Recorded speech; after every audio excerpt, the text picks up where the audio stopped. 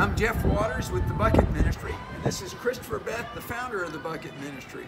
We're here today at Rockwall Golf and Athletic Club talking about our upcoming Buckets for Life golf tournament, which will be May 6th.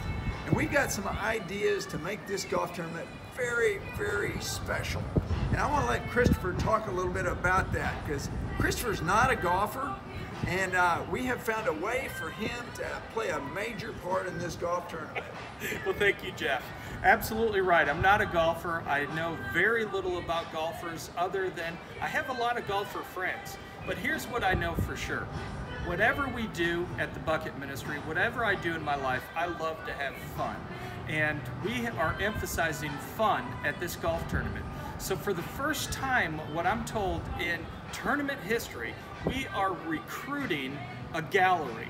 And so for $25, uh, you can register to be a gallery member that will provide you a lunch here at the Rockwall Golf and Athletic Facility, which is fantastic.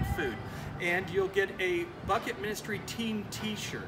And really what we're looking for is a couple of the holes on the course, we're gonna have gallery members and uh, we're gonna have um, a guest announcer, kind of like the Gary McCord of, of this tournament. And we're going to be getting rowdy, we're going to be having fun, we're going to be encouraging the golfers, and just making it a fun and very special day.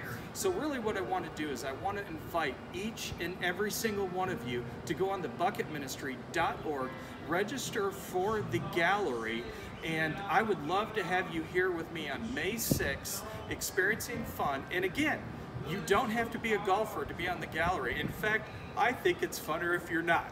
So please consider uh, visiting with us on May 6th and having some fun. And again, please see thebucketministry.org for more details. Thank you and God bless.